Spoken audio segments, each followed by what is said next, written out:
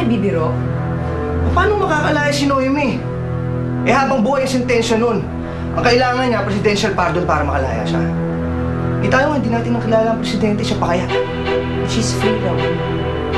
Okay, if you say she's free, then she's free. Though I don't know kung pa- paano nangyayari yun. Hindi pwede mo, pagod ako. Gusto ko magpahinga.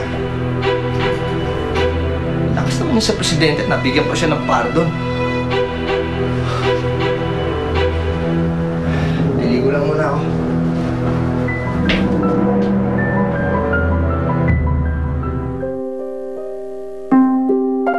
Hindi, nahanap kasi namin si Aling Cora.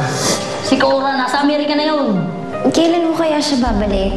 Bakit pa siya babalik dito? Eh, nasa Amerika na nga yun.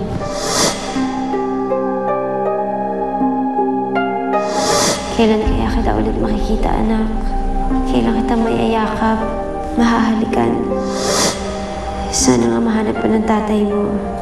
Sana nga rin yung pangako niya.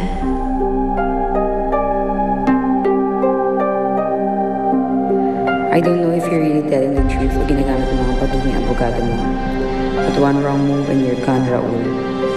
I love you but I love myself even more. Akin ka lang. Walang pwedeng makihati sa'yo.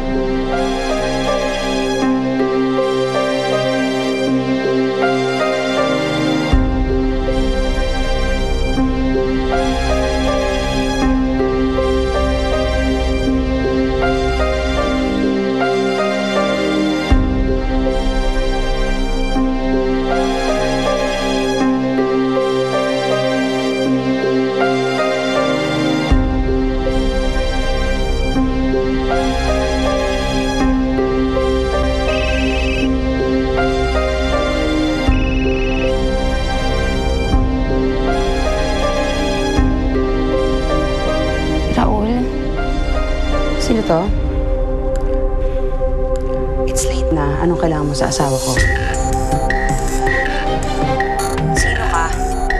Anong kailangan mo?